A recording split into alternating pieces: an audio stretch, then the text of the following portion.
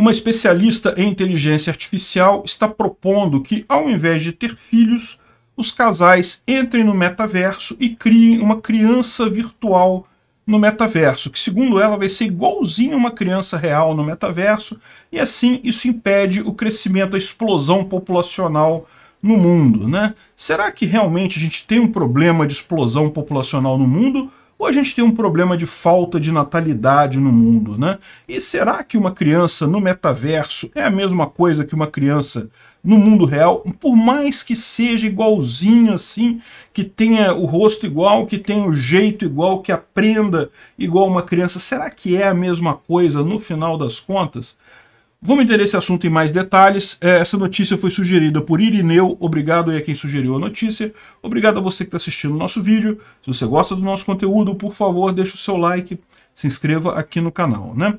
Pois bem, o nome da pesquisadora é a Catriona Campbell. Ela escreveu um livro chamado é, Inteligência Artificial por Projeto, um plano para conviver com a inteligência artificial. E uma das coisas que ela coloca, uma das coisas que ela sugere, é, é justamente o uso da inteligência artificial para o, uh, as pessoas terem filhos.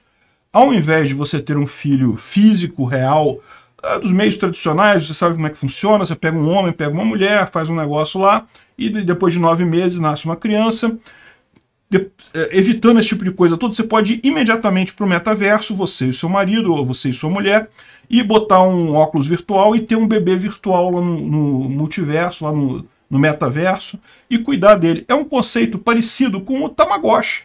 Vocês lembram do Tamagotchi? Eu lembro do Tamagotchi. É antigo pra caramba esse troço. Era um brinquedinho. Para quem não lembra, para quem é mais novo ou mais velho e não lembra desse troço, já tem um tempo Tamagotchi. Faz muito tempo que eu não vejo mais Tamagotchi por aí. Ainda é um brinquedo que o pessoal brinca hoje em dia? Não sei. Enfim, mas o que era isso? Era um, um brinquedinho aqui, tá vendo? Um chipzinho com alguns botões e coisa e tal, e era tipo um bichinho de estimação, você tinha que alimentar ele. Se você deixasse ele muito tempo sem alimentar, ele morria de fome. Você tem que dar água para ele, você tem que botar ele para dormir, você tem que fazer um monte de coisa. E se você não fizesse as coisas que ele precisava, ele acabava adoecendo, acabava morrendo e coisa e tal. Tudo bem, é um negócio eletrônico, então se ele morresse, você resetava e começava de novo. Mas uh, o pessoal gostava disso daí. Criança brinca com qualquer coisa, né? Então o pessoal se, se amarrava nisso daí. Eu não me lembro de ter brincado com isso aí diretamente, porque eu acho que eu já era meio velho quando veio essa, essa onda aí. Mas é, foi uma onda, teve muita gente que brincava de Tamagotchi, né? Agora, o fato é o seguinte, de certa forma, um filho na inteligência artificial, ele pode ser perfeitamente igual a um filho real, ele pode ter os mesmos desafios, pode ter a mesmo, o mesmo crescimento e coisa e tal, mas dificilmente vai ser a mesma coisa, porque você não tem um aspecto skin in the game que você tem com um filho real, né, meu amigo? É, uma, é, é diferente isso, né? Por exemplo, todo mundo que tem, que tem filho sabe o que eu estou falando aqui, vai entender o que eu estou falando, tá? Tem uma hora que você quer desligar a criança. Caramba, pelo amor de Deus, eu não aguento mais, eu estou três dias sem dormir. Tem como desligar a criança? Não, não tem como desligar a criança. Né? No, no, multiverso, no metaverso tem como você desligar a criança. Você vai lá, tira o headset, bota do lado, acabou, desligou lá, pronto. É aquele negócio. É, é, é não é, você não tem skin in the game na coisa, né? Então essa é a primeira diferença que eu coloco para você. Mesmo que seja, vamos supor por hipótese, o metaverso do, do, uh, do Mark Zuckerberg lá, da Meta e coisa e tal, não tá essas coisas todas não. Eu ouvi dizer que o pessoal tá bem, bem em pé atrás disso daí, uh, os gráficos não são tão bacanas, a coisa toda é muito simplificada, mas vamos supor que eles criem um metaverso super espetacular que você consiga ter uma criança que você não consiga distinguir de uma criança viva, igualzinha, não sei o que lá, ainda assim você não tem skin in the game. Se você encher o saco, você desliga o jogo e pronto, e acabou, e não tem mais criança, e, pô, né? Você não pode fazer isso com uma criança real, né? E você pode achar que, ah, não, mas isso é, é, então é uma vantagem da criança virtual em relação à criança real. E eu digo para você que não, não é.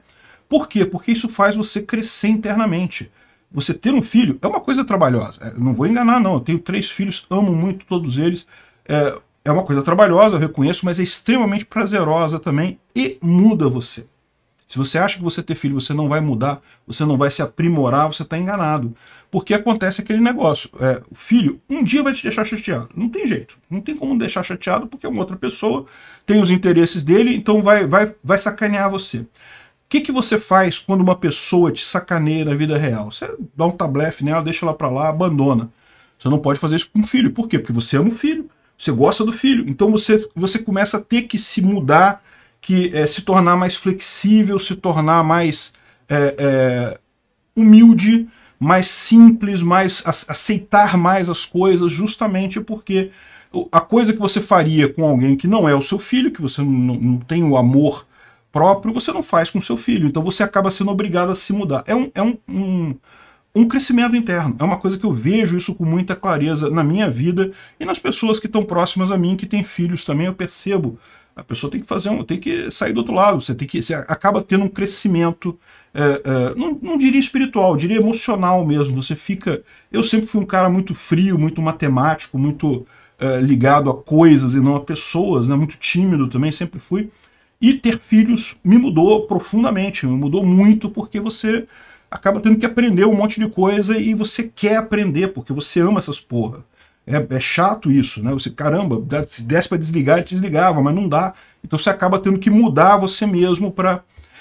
Eu tô falando de brincadeira, tá, gente? Eu amo vocês, meus filhos? Vocês sabem disso, né? Enfim, é, isso é uma coisa que é diferente num jogo. Num jogo, meu amigo, se você chegar num ponto que você falar, ah, não, foda-se, você desliga aquele troço e acabou. Não tem, não tem, não tem o skin in the game na parada, né? Então, isso eu já digo de cara, não é a mesma coisa. A outra coisa que é uma coisa que você deve considerar é justamente a questão da sua vida na velhice, né? Assim, é diferente. Eu não vou dizer que é melhor ou pior você envelhecer com filhos ou sem filhos, né? Você envelhecer sem filhos é diferente de você envelhecer com filhos. Uma coisa que eu noto, por exemplo, que os meus colegas é da minha idade, o pessoal da minha idade que não tem filhos, é que tipicamente eu sei muito mais sobre os assuntos da juventude do que eles. Porque eles não têm filhos, não tem alguém para contar para eles a última novidade, a última, a última música, a última coisa que saiu. Então eles ficam ouvindo ainda música lá de 1960 e coisa e tal. E eu acabo vendo, tendo mais contato com coisas mais modernas e coisa e tal. Então, assim, é uma coisa que muda na sua vida também. Talvez isso possa ser emulado pela inteligência artificial, né? Mas aí não sei. Enfim, o outro problema que ela coloca aqui é a questão de você ter a, a superpopulação no mundo. Então a ideia dela é fazer isso para evitar a superpopulação. E aí que eu fico com um problema. Por quê? Imagina que você tivesse isso. Vamos supor, temos um metaverso e uh, você pode ter um filho lá e é perfeito, é a mesma experiência de você ter um filho real. Qual que é o problema dessa história? O problema é que eu não tenho certeza se o nosso problema é superpopulação ou subpopulação nesse pessoal que tem acesso à tecnologia. Onde você tem superpopulação no mundo é justamente entre as pessoas mais pobres. É, nas regiões mais pobres da África, as regiões mais pobres do Brasil, a região mais pobre da, da América Latina. Ao contrário, nos locais mais tecnológicos, onde as pessoas têm acesso a esse tipo de coisa, é o contrário. Você tem subpopulação. A gente está tá com uma taxa de natalidade abaixo da reposição. A gente não consegue repor a próxima geração. Por enquanto, a coisa está caminhando, por quê? Porque como tem essas outras populações mais pobres que é, ainda têm muitos filhos, no mundo todo consegue repor. Até crescer um pouco. Mas é, Estados Unidos, Europa, Coreia, Japão, Rússia, China, e até aqui no, cara, aqui no Brasil, a gente já está diminuindo a, a, a taxa de fertilidade brasileira já está abaixo de 2,10, está, se não me engano, 1,74, já está abaixo de 2,10, que seria a taxa de reposição. Então você vê que é um problema isso. E, e, você não ter crianças é um problema. A economia vai sofrer com isso nos próximos anos. Né? E é, à medida que esses países mais pobres da África começam a melhorar a qualidade de vida, naturalmente o que você tem? Você tem uma diminuição da quantidade de filhos por mulher, e aí você vai ter um momento em que a população vai naturalmente reduzir. Então, eu não sei não, é capaz de no futuro a nossa preocupação não ser essa de a superpopulação. Aliás, eu não sei nem se isso é hoje um, um problema real na, é, na vida nossa. Eu, acho que muito maior problema nosso é a subpopulação. A gente tinha que arrumar maneiras de é, é, incentivar as pessoas de terem filhos, né?